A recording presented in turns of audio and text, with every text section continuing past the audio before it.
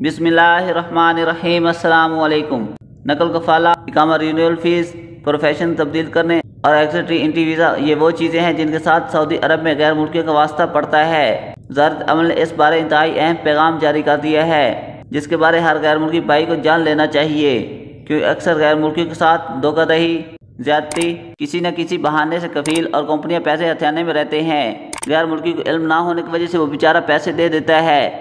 मगर अब सऊदी अरब में लेबर कवानीन पर अमल दरामद हो रहा है। आपको किसी से भी डरने की ज़रूरत नहीं है। ये वजारत अमल की तरफ़ से ट्वीट के ज़रिए पैगाम जारी किया गया है। इसमें सबसे पहले, article 40 of the labour law, the employer is obligated to pay the fees.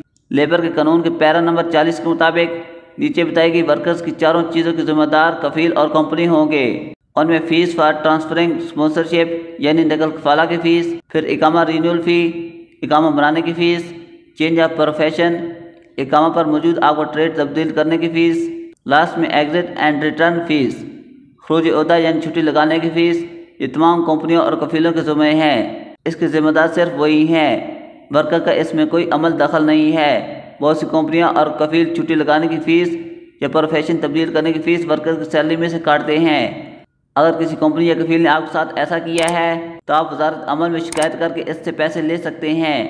यहाँ पे कहा गया कि अगर आपके सबका कफील या कंपनी ने आपके साथ ऐसा किया है तो फिर भी आप अपनी जेब से अदा किए गए पैसे वापस लेने के हकदार हैं।